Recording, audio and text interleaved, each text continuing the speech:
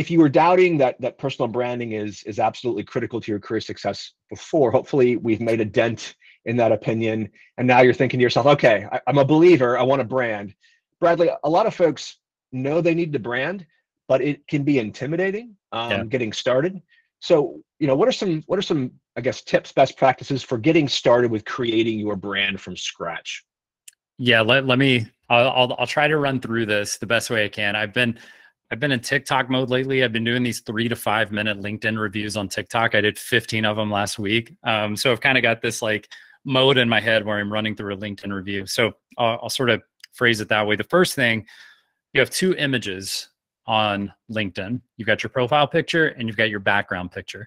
A lot of people think, where's the value here? Like what I mean, I see people without a profile picture, or I see people with like a flower as their profile picture.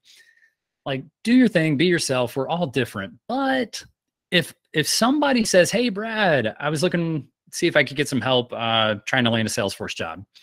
And I go, "Okay, cool." My first impression is your profile picture. Like that's who I'm talking to. And it's much easier for me as a human to talk to a human than a flower.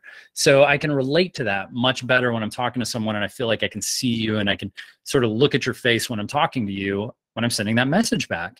And that's just how we communicate. Like that's how communication works.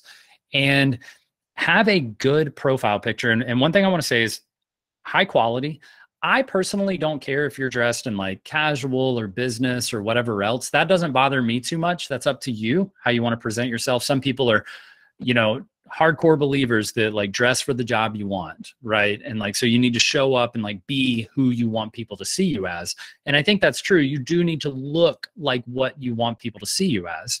Um like I'm not wear I don't wear like a suit that's like super flashy and sharp or anything because I prefer an approachable image. I want people to feel like Brad's a guy that I could send a message to, and I don't think it'll bother him. In fact, I think he might respond to me in a real way.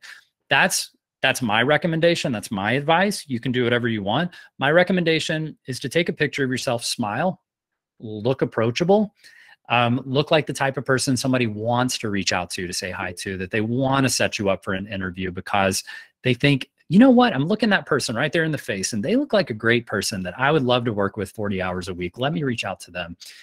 Your background, your background image. So many times I've seen people with like a cityscape. It's like the high rise skyscrapers of whatever city they live in. So cool. Have pride in your city. That's awesome.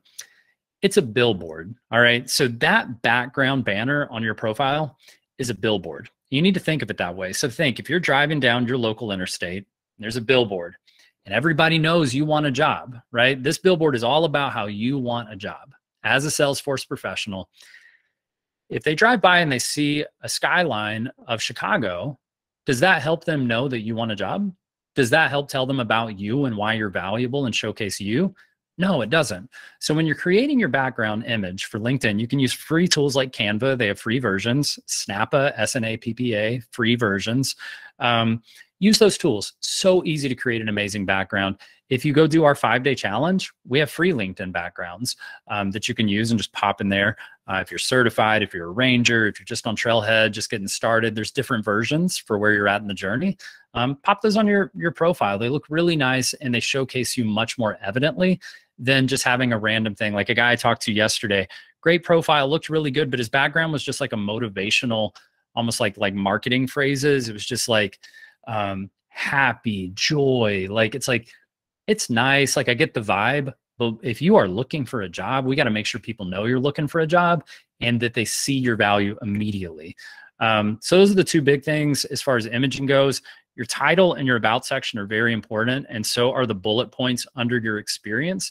The reason these are important are for SEO, search engine optimization. When people are looking, recruiters are looking, hiring managers are looking to hire someone, your the keywords that come back in those search engines. So when they type in looking for Salesforce certified professional, Salesforce certified administrator, Salesforce certified analyst, LinkedIn is giving them results based on what it's finding when it searches the page. So it's going to search your title, it's going to search your about section, it's going to search all those bullets under your experience. And the more it sees keywords like Salesforce, productivity, certified, efficiency, flows, processes. The more it sees those types of words, the more it's going to pull back. So, my recommendation for your title if you're looking for most people transitioning into Salesforce careers are looking for admin and analyst roles. Those are the two most common entry level roles uh, for non technical backgrounds.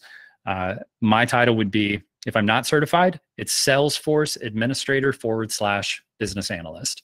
If I am certified, it's Salesforce Certified Administrator forward slash business analyst. That is my title. Um, the reason for that, you're going to pull back in search engine results and it's going to help you show up in front of people more often. Um, I could go on for days with LinkedIn tips, but hopefully that gives you a kickstart onto what you should be paying attention to first and foremost.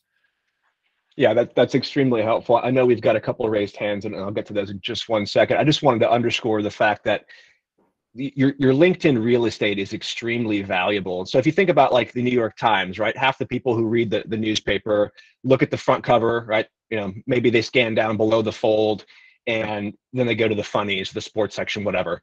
Think of it the same way. Your LinkedIn profile, recruiters, hiring managers maybe look for five, six seconds tops before they go on to the next profile. So you want to communicate the maximum amount of value in the top fold of your profile before there's any scrolling that's taking place so that you're capturing their attention and you convince them to scroll further. And you do that to bradley's point you know engaging profile picture uh, a, a relevant unique background picture your headline all those things